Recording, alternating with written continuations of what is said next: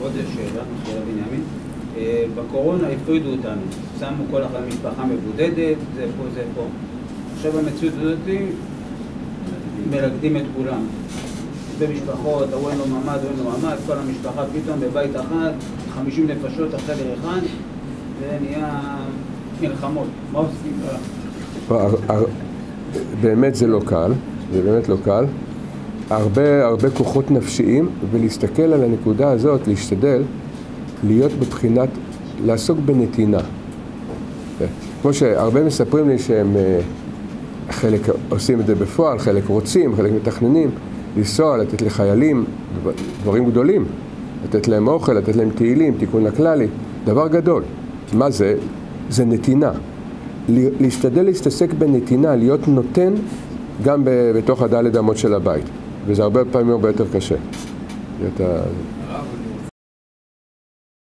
הירשמו לערוץ של הרב ויישארו מעודכנים.